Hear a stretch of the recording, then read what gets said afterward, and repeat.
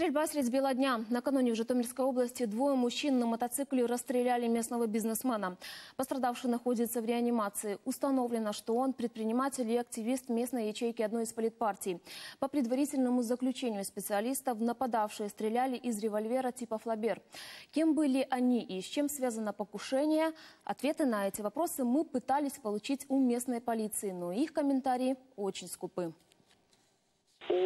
Центрі міста Коростишева двоє невідомих на мотоциклі здійснили кілька пострілів по приватному підприємцю, жителю райцентра 88 року народження. Чоловіка було госпіталізовано до реанімаційного відділення, проведено оперативне втручання. Поліція проводить слідчо-розшукові заходи для встановлення осіб нападників та їх затримання.